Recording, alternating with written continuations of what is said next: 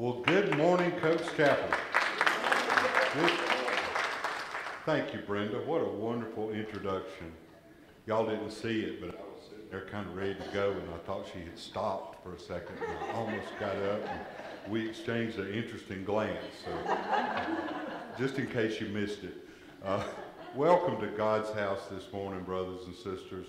This is such a marvelous place to be, and I, I honestly, in my heart of hearts, I hope you're as glad to be here as I am, and all of us are. We are truly blessed. Um, you know about all the announcements that are in the bulletin. Uh, there's always things going on.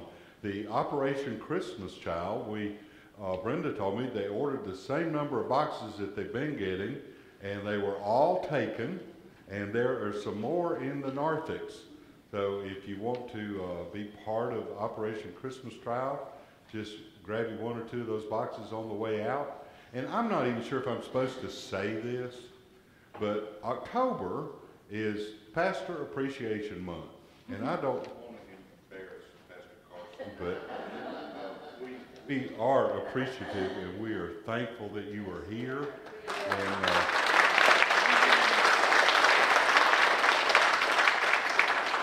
and you know, this is this young man's first charge. So it's going to be something that will be engraved on his heart forever. Never, ever forget it. And you'll never live it down, says Linda. But we are pleased. And if, if you feel like uh, sending a card, just a little note of thanks, that would be appropriate too. Are y'all ready to worship this morning? Let's uh, prepare our hearts with a moment of silence and just quiet reflection. And we'll ask God to be with us. Dear Heavenly Father, we don't know how to thank you properly. You've done so much for us that we can't even understand the breadth and the width and the, the scope of it all. But you, you've created us in your image you, from the dust of the land, and you breathed your Holy Spirit into us and, and brought us to life, and you have sustained us generation after generation. Help us to not ever forget who you are and what you are and what you've done. We thank you for the gift of Jesus and the promise of eternity and salvation. And Lord, we know that we are all stinkers. Every one of us. There's not one of us that's perfect. There was only one perfect human being, and that was your son, Jesus. So help us to live up to his image and his calling. We pray for the Holy Spirit to be with us here this morning as we worship. We thank you for each and every person that's here. And Lord, we pray for the members of our congregation that are not here. We pray for those folks that are not in church this morning. And we pray that they will come to a spiritual awakening. They will want to seek you. But Lord, we pray for your presence and we lift it all up to you. In Jesus' name, amen.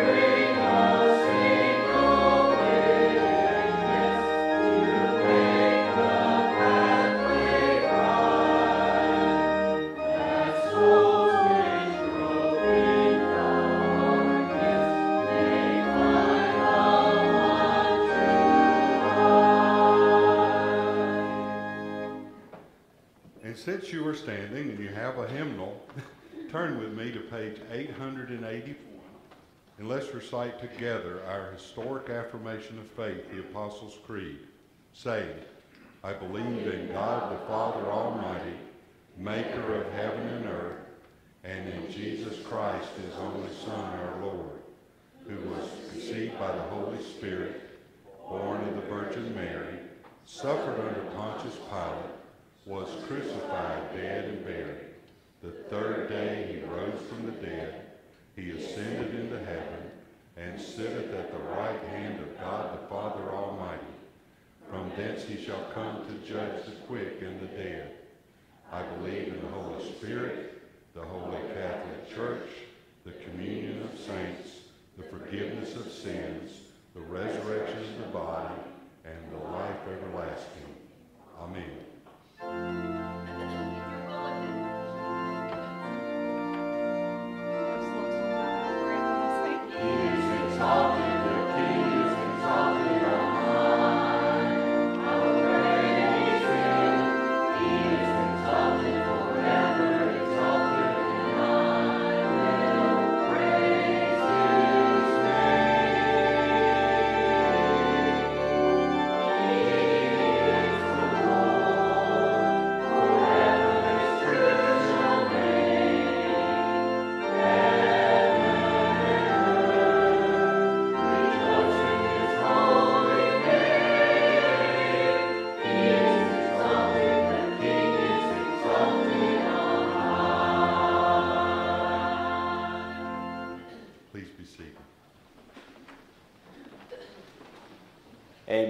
invite our ushers to please come forward as we prepare our hearts and minds for a time of communion. I'm sorry, offering.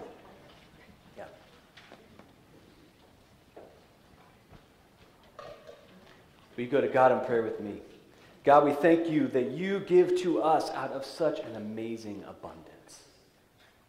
Will you, God, allow us to open up our hearts and our very lives to give back to you to a world that desperately needs it, that desperately needs to know of you and your love.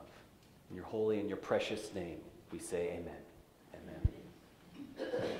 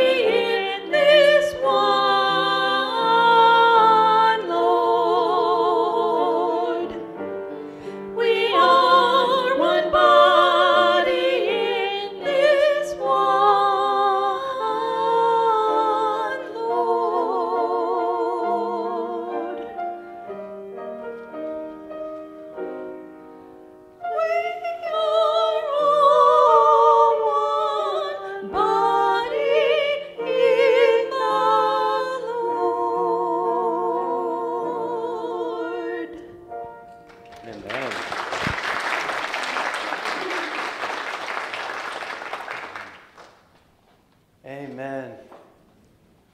Thank you so much. Y'all, that was that was amazing.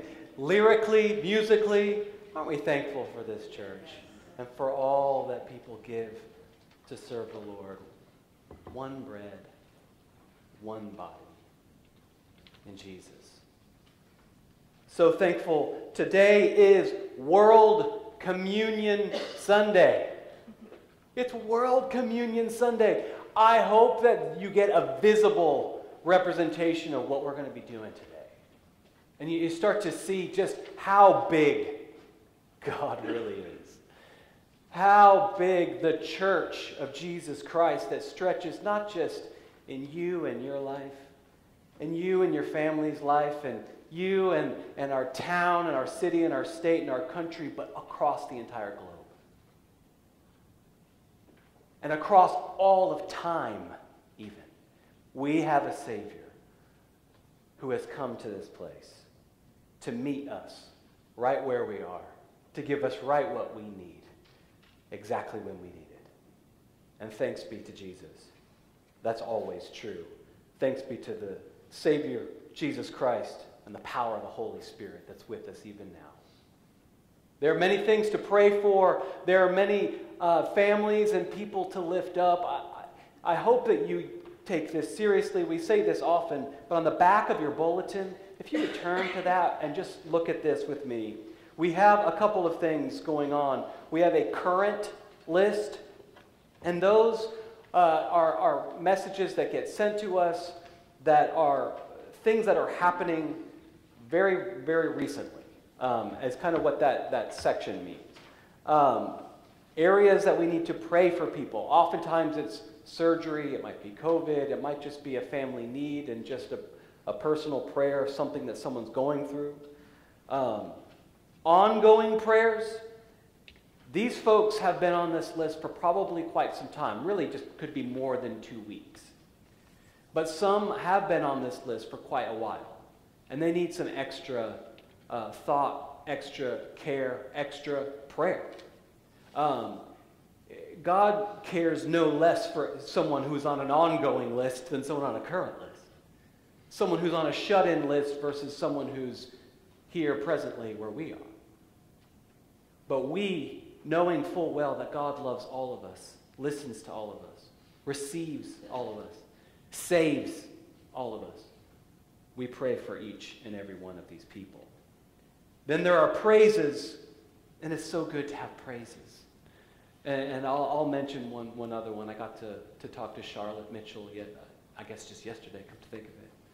And she is doing well. Her husband's doing well. They, you know, experienced COVID, life trying to get back together. Um, I know that you all know her as well. Please keep folks that you know in your prayers. Give them a call. Check in on one another. A big part of being a church is not just on a Sunday morning praying for them, amen, but a big part, I believe, is on a Monday morning is on a, a Wednesday morning, giving a call, giving a, a, card, like Larry said, give, give cards to people. I mean, he talked about to me. You don't need to do that, but um, a big part of church is celebrating me. You know, I'm not going to do that. No, a big part of church is just lifting each other up. You know that, and you do that. You really do. Um, and of course, sympathy. And the sympathy, uh, you know, is folks that we need to pray for those that have recently passed away, those that have gone into full glory. And those that are, are on this side of heaven, we grieve. And we know that when we grieve, God's grieving with us. And so we, we lift these folks up as well. You can pray for Jerry Chapel. Um, you can pray for Nadia. You can pray for folks that uh, when we lose earthly friends and family, it stings. It stings. But we have a Savior that tells us, Oh, death, where is your sting? Oh, death, where is your sting because of Jesus? Will you go to God in prayer with me? God, we thank you so much that you are a God of the whole world. God, we thank you that you and your Son, Jesus Christ, and the power of the Holy Spirit has been at work in the world. Not just where we can see it, but where we can't. And I don't know which one of those is more powerful. Knowing the places where we've seen it and we've seen you show up, we've seen your grace at work in our lives, in our personal lives, and we've seen your salvation and restoration and grace. Or what's more powerful, the places around the world that we haven't seen, but knowing full well that the same joy, the same truth, the same hope and salvation that we experience is happening to people that we don't even know, in places that we don't even know, in times, in geographies, maps, and cities we've never even heard of. God, we thank you that you care for them like you care for us. We thank you on this World Communion Sunday as the world and the church of Christ comes together on this very day around the world to celebrate what you do, to celebrate you and the saving power of Jesus in all of the churches all around the globe. And we just get to be but a slice of that beautiful, divine pie that you're making in the sky. God, we're so thankful that you are alive and well, and that you receive each and every one of us into your kingdom. God, help us to love each other the way that you love us. In your holy and your precious name we pray. Amen. Amen. It's such a joy to get to be a part of things with y'all. Uh, I, do, I did want to lift up two, two items for you that are inserts. And these probably got uh, mentioned along the way, and some of you know more about these things than others. But take a look and just see some of the things that's coming up. Namely, this month, we're doing trunk or treat. And I want you to be involved. Uh, we want to be involved as, as Cokes Chapel, as Cokes Chapel Child Care Center, as this community, and let this community know that this church loves them. And this is a really neat opportunity for families with young children, especially, to come to an event that we put on, that we just get to kind of be crazy and you decorate your trunk, and you know, you've done it before. But just come out. There are places to volunteer, places to serve. Um, there are places to actually sign up right out here in the foyer.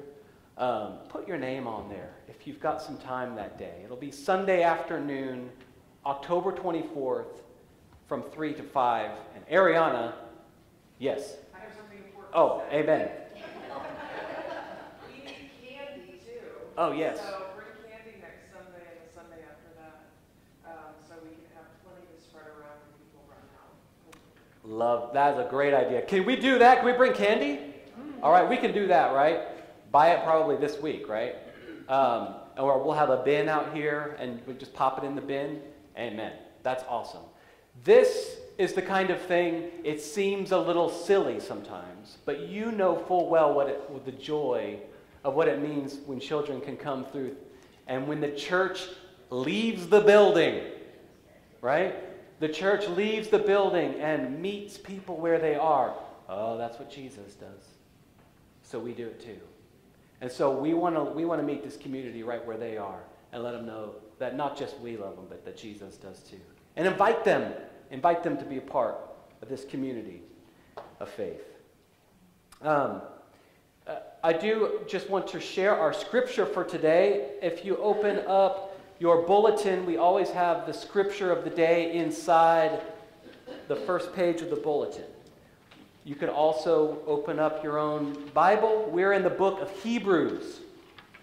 Hebrews. And this passage comes from chapter 1, verses 1 through 4, and chapter 2, verses 5 through 12. Will you stand as you're able to hear the word of the Lord today?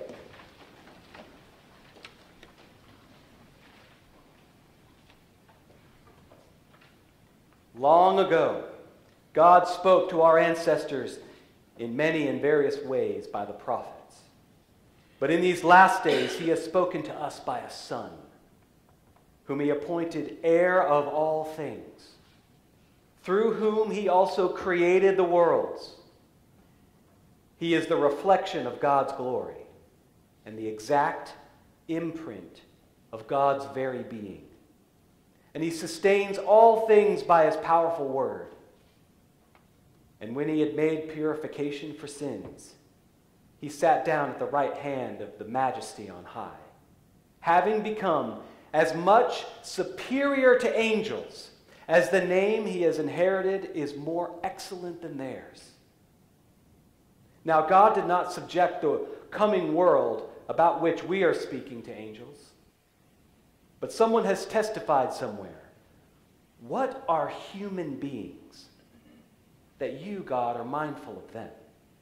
Or mortals that you care for them? You have made them a little while lower than the angels. You have crowned them with glory and honor, subjecting all things under their feet. Now, in subjecting all things to them, God left nothing outside their control. As it is, we do not yet see everything in subjugation to them. But we do see Jesus, who for a little while was made lower than the angels, now crowned with glory and honor because of the suffering of death, so that by the grace of God, he might taste death for everyone. It was fitting that God, for whom and through whom all things exist, in bringing many children to glory, should make the pioneer of their salvation perfect through sufferings. For the one who sanctifies and those who are sanctified all have one Father. For this reason, Jesus is not ashamed to call them, us, brothers and sisters, saying, I will proclaim your name to my brothers and sisters. In the midst of the congregation, I will praise you. The word of God for the people of God. Thanks, Thanks be to God. You may be seated. The word of God for the people of God. The word of God for the people of God, not just here, but around the world the Word of God for the people of God, not just in our time, but in all times, in all places. This, this passage is, is a beautiful one. And if you have your, your Bible in front of you, I'd love for you to just turn to a couple of specific uh, verses in Hebrews. Firstly, looking to Jesus. It, this whole thing is just setting up Jesus, isn't it? I got to stand back here. This, this is too beautiful. Right? Does this make me look good? This is good. Jesus, Jesus, Jesus. Overflowing bread. One bread, one body. Let me cut to the chase. One bread, one body for the world. And, and I hope you start to see the globes and the overflowing bread and, and the wine and just you start to picture the grapes and it's life. It's life. Jesus represents life. And, and not just here or here or, or only there, but the whole globe. In fact, Scripture talks about the whole universe. If you look at this verse, this is a strange verse. It really is. But in verse 2 of, of chapter Hebrews chapter 1, verse 2, but in these last days he's spoken to us by a son, Jesus, whom he appointed, God appointed, heir of all things. Heir of all things? That's quite a title, right? So God is going to give Jesus everything. And here's the strange thing, even more than that, I think. Through whom he also created the worlds. Plural? I thought we only had one world, right? No. Not, I mean, I, just, trust me, this is not an alien sermon. You know, I know what you're thinking. Oh no, this is where he starts talking about aliens. We knew he was crazy. We were just waiting for the day. No, no, no. No, but God, in God's majesty, in God's wonder, you know, we don't know all things that God has made. We see this much. We know what we know. And even that is slim and small. But God, knowing what God knows. When it talks about worlds, I mean, sometimes it might, it might be planets and galaxies and places far from what, whatever any of us could possibly know. But it also means heaven and earth. It also means all of God's spiritual domain and that, that place of full restoration, full glory, this place where those angels are always singing, where they're always singing to God because they know without a shadow of doubt that every single thing that they see and know of God is absolutely true. There's no more contradiction, no more pain. Revelation 21 says, no more suffering, no more tears no more pain. Oh, what a place. What a place that would be. And Jesus also knows that we're not quite there yet. That's why God speaks and says in verse, uh, I guess this is the, that next section, it is uh, as it is, we do not yet see everything in subjection to them. Meaning,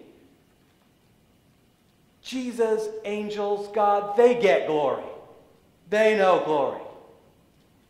The people that have passed, that God has now received into God's full glory, they know glory. They get glory. We get glimpses of glory. In some ways, sort of the, the reflection, a shadow even of glory. But we don't have the full taste of it yet. But according to John Wesley, according to Jesus, according to the church of Jesus Christ, every time we eat the bread, every time we drink the cup, oh, we're tasting the full glory. There's not a bit of that glory that is in heaven that you can't taste right here, right now. That's the power of God's glory. That's the power of the one body for the world. It's that it's, it's made in the full glory of that spiritual place with God, of all the places where you think, well, I wonder what it's like up there. I wonder what it's like in that realm. You get to know. You get to know. When you know Jesus, you know glory. When you know the Holy Spirit in that quiet morning who speaks to you and says, There's a thing I need to tell you, you know full glory. When you taste the bread and you taste the cup, you know full glory because it comes from the full glory of Jesus. So, I, I just want to share a couple of little things about me because I think a lot of you, you, you know, I get up here and I say a bunch of little, you know, big, sweet, I like this move. I do this move a lot. Big, sweeping theological statements about God. But who are you, Carson? Who are you? Where did you come from? How did you get to know this God? Why did you want to be a pastor? Why are you here? Why should we listen to what you have to say? Because I don't want to be someone up here that's based on credentials. Like Paul says, it's not about my credentials or the way I speak. I want it to be about my faith. I want it to be about what God's doing and God's power and God's glory and not mine. And I hope that I echo at least a glimpse of that. I don't want it to be about me and my story and my things. I want it to be about what God's doing. But I do want you to know a little bit about me. I think it's only fair, and the more we get to know each other and it's reciprocal and good, I think the better off we're going to be as a church. I think the better off that we have as a church to truly be the one body because we're connected and we know each other. We know the things that we are, we're good at together and the places that we can go. So, just a, a, a bit about me, and a bit while I've got the globe in front of me, I was a missionary kid, which means a lot. And some of you may know some missionaries. In fact, we had a silent auction not too many weeks ago that I got to go to where we were supporting three specific missionary families. Well, I was like a kid growing up in a missionary family. My, my parents lived, uh, first, it was stateside. I was born in Dallas, Texas, you know, um, and then moved to Southern California for a ministry that my parents were involved in. And then it brought us overseas. And when I was 12 years old, we went to Czechoslovakia, which is Central Europe. Um, I was there when they split the country from Czech Republic to Slovakia. Um, I moved there in 91. They split, I think, in 92. You can imagine, like, the, the Berlin Wall coming down in 89, and it was a, quite a time. And my, my parents had, my, especially my father, had a ministry working with people uh, specifically about that time, um, talking with people in um, the academy and in the church that wanted to know about Americans and how this Western way of, of freedom and, and how it's possible to be a Christian and a scientist, my dad's a, a chemist, in one body. It was a real strange thing because they said, no, that they're telling us that you're either a scientist, and if you are, there can be no God, or you need to be a Christian, and if you are, there can be no science. You have to tune out the world and all the things. You have to tune out your brain, in a way, they were saying. But we all know that's not true.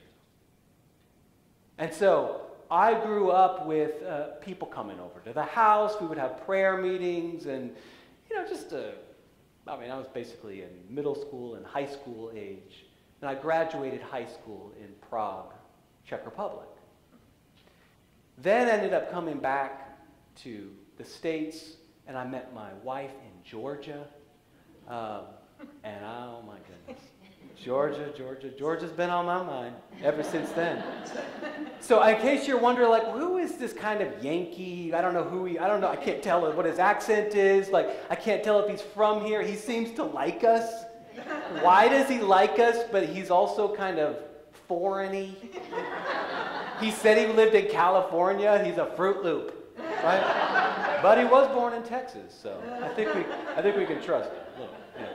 So I, I, get it. I mean, the, the truth is, we're all anomalies.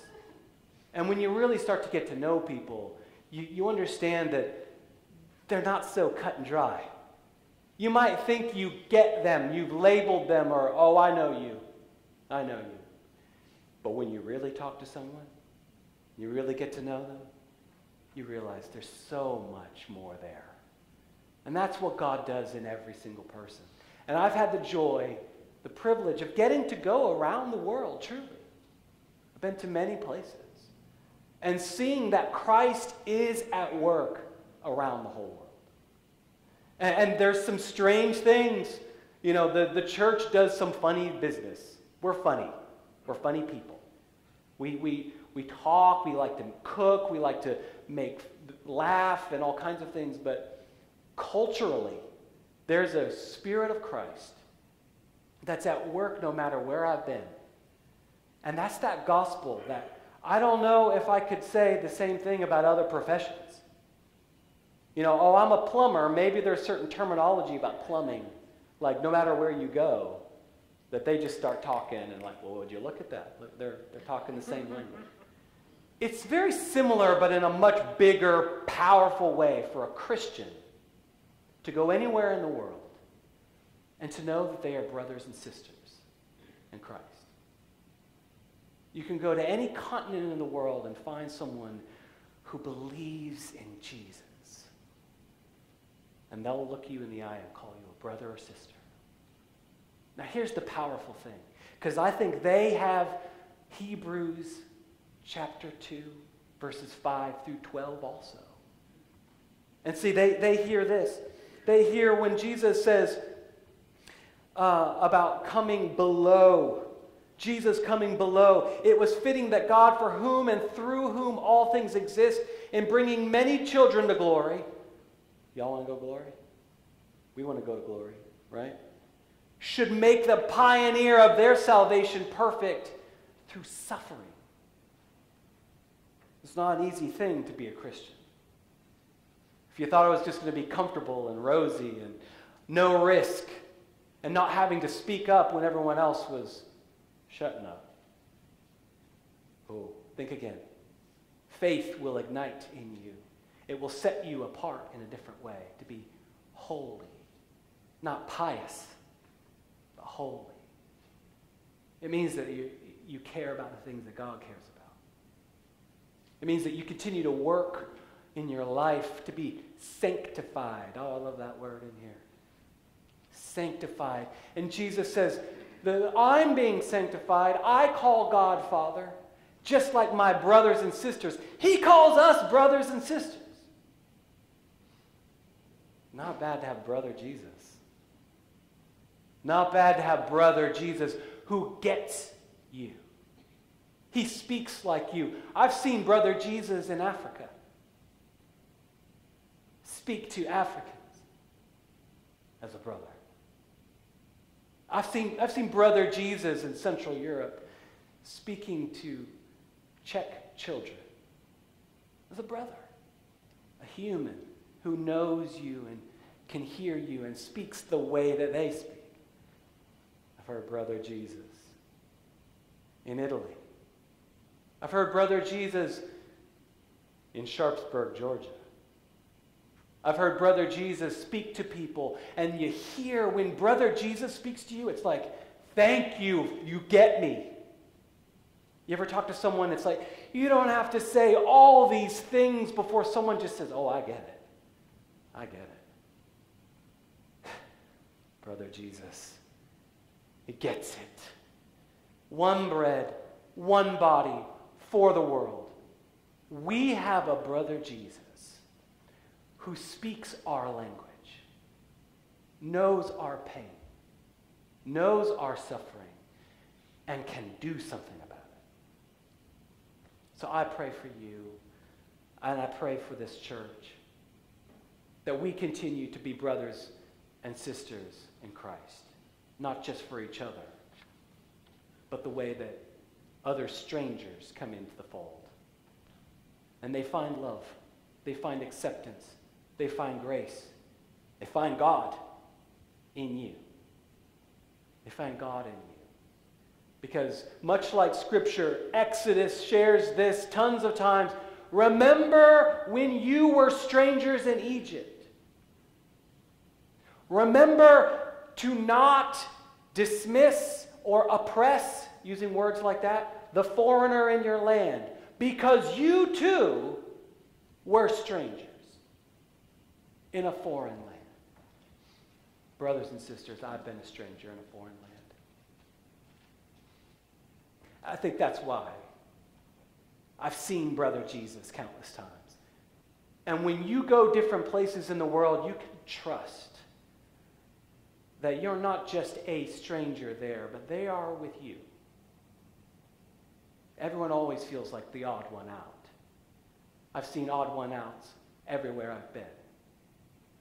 What's interesting is if you can love the one that's out and continue just the way that Jesus does. Leaves the 99 to go after the one. Always about belonging, always about seeking the lost, always about finding the one that's been rejected, lowly, humble, and says, You know what? You're still a brother or sister to me. I'm not too good for you.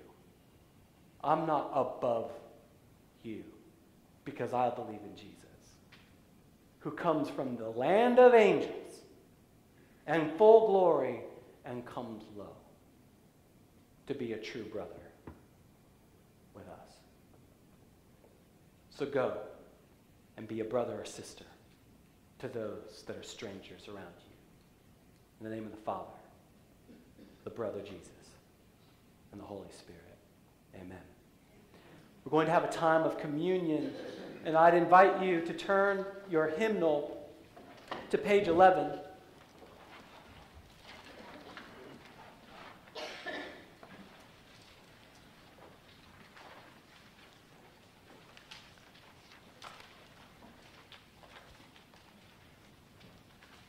As part of communion and as part of uh, our world communion, I'm going, I, I'm going to, there are a couple of responses in there that are bold. And I'm going to go through some more of the liturgy today. Because it's so important. And there's a special United Methodist liturgy that goes with World Communion Sunday. And I just think it's important to hear. Now, you won't have all of that in your hymnal, but where there are some of the bold words, I'd invite you to speak that back with me. You might need to actually go back to page 9, is it? Go back one more page. I'm going to start with where it says, The Lord be with you. And we say, And also with you. Amen. Lift up your hearts. Let us give thanks to the Lord our God. It is right to give thanks and praise. It is right. And a good and joyful thing always and everywhere to give thanks to you, Father Almighty, creator of heaven and earth. You have made from every nation and every people to live on all the face of the earth. And so, with your people on earth and all the company of heaven, we praise your name and join their unending hymn Holy, holy, holy Lord, God of power and might. Heaven and earth are full of your glory. Hosanna in the highest. Blessed is he who comes in the name of the Lord. Hosanna in the highest. Holy are you, and blessed is your Son, Jesus Christ. By the baptism of his suffering, death, and resurrection, you gave birth to your church, delivered us from slavery to sin and death, and made with us a new covenant by water and the Spirit. He commissioned us to be his witnesses to the ends of the earth and to make disciples of all nations. And today, his family and all the world is joining at his holy table. Now, on the night in which he was betrayed, he took the bread. He gave thanks to you and broke the bread and gave it to his disciples and said, Take, eat. Do this in remembrance of me. And in the same way, he took the cup. And he gave thanks to you and gave it to his disciples and said, Drink from this, all of you. This is the blood of the new covenant, poured out for you and for many for the forgiveness of sins. Do this as often as you drink it in remembrance of me. Now, wait, we'll partake all together at the end. And so, in remembrance of these, your mighty acts in Jesus Christ, we offer ourselves in praise and thanksgiving as a holy and a living sacrifice, in union with Christ's offering for us as we proclaim the mystery of faith. Christ has died, Christ is risen, Christ will come again. Pour out your Holy Spirit on all of us gathered here and on these gifts of bread and wine. Make them be for us the body and blood of Christ, that we may be for the world the body of Christ redeemed by his blood. Renew our communion with your church throughout the world and strengthen it in every nation and among every people to witness faithfully in your name.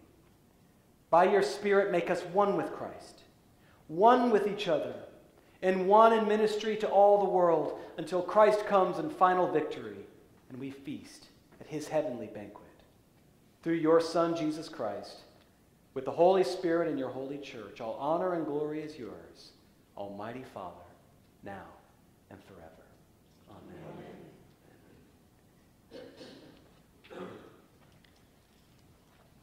Take our elements.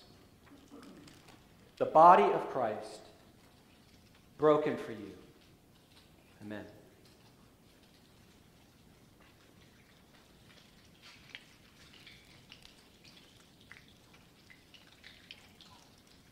and much in the same way. The blood of Christ poured out for you. Amen.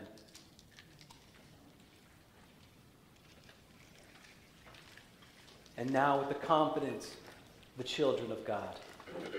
All around the world, people are saying the Lord's Prayer. Let's join that same prayer today. Our Father, who art in heaven, hallowed be thy name.